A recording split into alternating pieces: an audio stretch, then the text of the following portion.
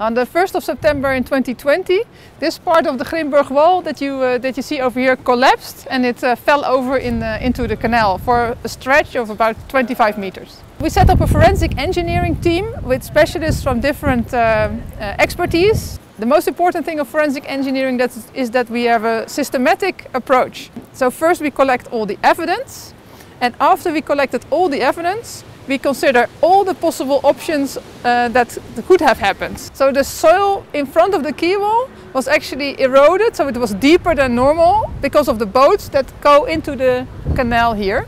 Um, and that reduced the uh, strength of the soil in front of the quay. Uh, so the quay uh, wasn't supported anymore and, uh, and, and fell over. But now we have to translate the results that we found here to the rest of the quay walls in Amsterdam.